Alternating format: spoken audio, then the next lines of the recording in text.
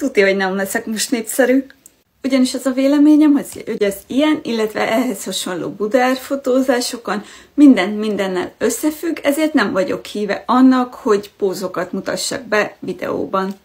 Valószínűleg az iskolában megtanult rendszer szemlélet ment az agyamra, érthető legyen, hogy miért nem vagyok a híve ezeknek a pózolós videóknak, ami nagyon jól tudom, hogy más fotósoknál iszonyatosan jól mennek. Nagyon sokan lájkolják, nagyon sokan kommentelik, mentik le. Szerintem nem célra vezetőek. Szerintem egy budár fotózáson például nagyon fontos az, hogy milyenek az adott helyszínen a körülmények, milyenek a bútorok, illetve milyen az adott modellnek a testalkat, a magassága, vagy vékonysága, vastagsága, stb.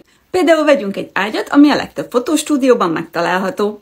Egy budár fotózás során nagyon fontos, hogy az ágy milyen kvalitásokkal rendelkezik. Tehát mennyire fog mondjuk besüppedni, hogyha rámászik a modell. Mennyire kemény az ágynak a széle, ez meghatározza nagyon sokszor, hogy mennyire lehet vagányabb szélen ülős, állós, fekvős pózokat, lelógós pózokat készíteni. Illetve minden ágynak van egyfajta magassága is. Valamint van egy szélessége, ami megint meghatározza azt, hogy milyen szempontok szerint lehet fektetni, ültetni, állítani rajta a modellt. Például okáért legyen ez az album mondjuk az ágyunk. Tehát hosszúsága, szélessége.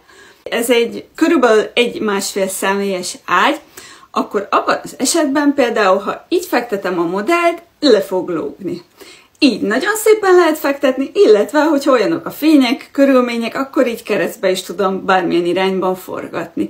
Viszont ezek a pózok, az ilyen ö, szélességében elfekvős pózok természetesen akkor már kiesnek. Ha elég széles az ágyunk, akkor viszont bele lehet fektetni ebben a pózban is.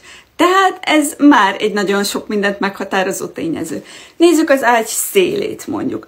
Nagyon sok esetben olyanok az ágyak, hogy szélül van nekik egyfajta ilyen vaskeretjük. Na most, hogyha ez a vaskeret körülbelül egy vonalban van a matraca, akkor ez a vaskeret nagyon szépen széjjel fogja nekem nyomni a modellemnek az oldalát, hátát, ha én azt szeretném, hogy a modell szépen lelógjon az ágyról.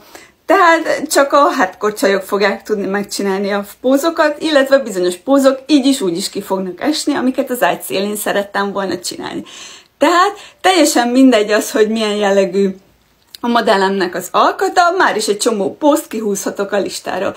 Ez például nagyon sokan nem szokták figyelembe venni. Én ezért sem szeretem ezeket a jellegű videókat, mivel nagyon sok minden múlik a körülményeken. Fontos az ágyak esetében, hogy milyen a matracnak a minősége. Nagyon besüpped, vagy esetleg teljesen fix. Nyilvánvalóan, ha nagyon besüpped, akkor egy vékony lány el fog benne tűnni, hogyha esetleg alapból olyan a matrac, hogy a legvékonyabb 50 kilós lányok alatt is besüpped. Ez néhány póz esetében egy vastagabb lánynak tök jól fog tudni állni, mivel eltűnik. Nagyon sok képen viszont, hogyha olyan szögben fotózzuk le egy vastagabb lányt, egy ilyen besüppedős ágyban, akkor sokkal inkább nagyobbnak fog tűnni, mivel látszódni fog bizonyos szögekből, hogy ő elveszik ebben a kis teknőben. És akkor ott van az ágyas pózoknál az ágynak a magassága. Én imádok ágyról lelógós, lecsúszós, térdelős, hasalós képeket készíteni, viszont ezt nagyban befolyásolja az, hogy milyen magas az adott ágy, illetve, hogy a modell is milyen magas. Mert például Szegeden volt tavaly karácsonykor egy nagyon szuper ágy az egyik stúdióban, már is mutatom videón, és ebben az ágyban például nem lehetett kivitelezni azt, hogy gyönyörű szépen lefolyjon a modell, mivel nem ért volna le a földre, hiszen, mint láthatjátok, nagyon-nagyon magas volt az ágy alapból. Viszont az se jó, hogyha nagyon alacsony az ágy, mivel akkor szintén kiesik egy csomó általam nagyon kedvelt póz, hiszen ha lent van az ágy, akkor le fog érni róla nagyon hamar a modell, és nem lehet kivitelezni a pózt. Tehát én azt mondom, hogy én nem szeretnék ilyen jellegű videókat posztolni, amiben megmondom a tutit, mivel szerintem minden mindennel összefügg, és nagyfokú figyelem, illetve következetesség kell ahhoz, hogy valaki ezt össze tudja rakni úgy, hogy az jó legyen.